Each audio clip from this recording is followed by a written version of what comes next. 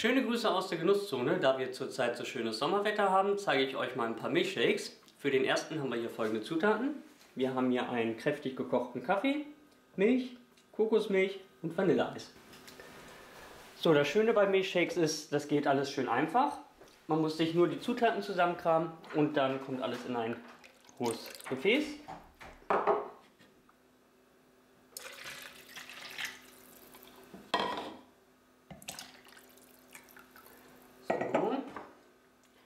Eis dazu.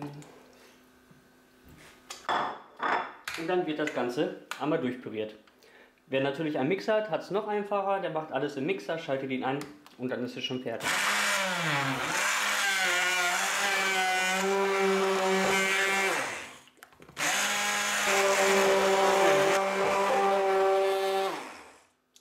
So, wenn dann die Konsistenz noch ein bisschen zu dünn ist, dann kann man einfach noch eine Kugel Eis mehr dazu geben. Dann wird das Ganze noch ein bisschen dicker. Kommt halt immer ganz drauf an. Ich habe jetzt keinen Kugelausstecher, wie viel, wie groß jetzt eine Kugel ist. Naja, und wenn es dann die gewünschte Konsistenz erreicht hat, füllen wir das in schöne Gläser und dann heißt es schon guten Appetit.